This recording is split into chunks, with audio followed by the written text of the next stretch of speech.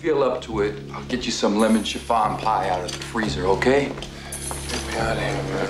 Don't worry, man. I'm gonna take good care of you. If you want, later on, I'll hook you up with some pizza. You just gotta learn how to relax. a little. Orderly! Orderly! Huh? Give me a little help. What? Give me some help down here! All right. What's he doing down there? Hey! What's wrong? Russ! Russ! What happened? Doc! He's dead.